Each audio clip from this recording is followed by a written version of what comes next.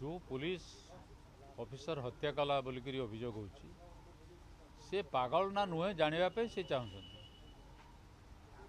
ବୋଧେ ରାଜ୍ୟ ସରକାରଙ୍କର ଇଚ୍ଛା ସବୁ ପ୍ରକାର ପ୍ରମାଣ ଯୋଗାଡ଼ କରାଯାଉ ସେ ଗୋଟେ ପାଗଳ ବୋଲିକରି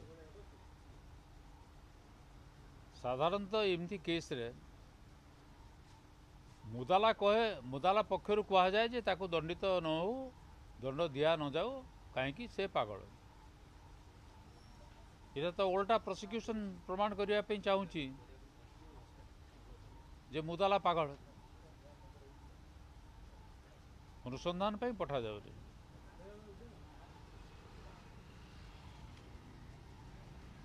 ଉଦ୍ୟମ ବୋଧ ହେଉଛି କଥାଟାକୁ ଚପେଇ ଦେବା ପାଇଁ ସେ ପାଗଳ ଥିଲା ଅତଏବ କୌଣସି